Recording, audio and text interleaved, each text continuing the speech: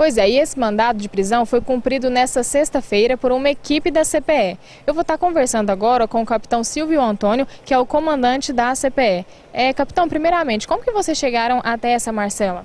Na verdade, a equipe comandada aí pelo capitão Liz, a equipe do CPE Comando, estava em patrulhamento no setor Jacutinga, quando eles visualizaram algumas pessoas ali em atitude suspeita.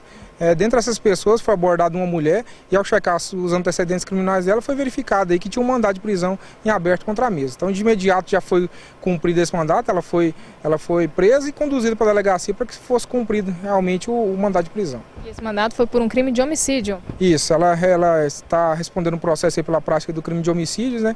Então agora a justiça determinou que fosse é, realizada a prisão dela, cumprimos esse mandado de prisão e agora caberá à justiça aí julgá-la aí dentro da, das leis vigentes do nosso país. Ela foi encaminhada aqui para a delegacia de polícia civil? Isso, foi encaminhada para a delegacia de polícia civil, mas vai ser posteriormente conduzida para a cadeia pública de Jataí. Agora ela já tinha outros antecedentes criminais também, né? Isso, consta aí nos nossos arquivos a, a passagem para a prática de outros crimes.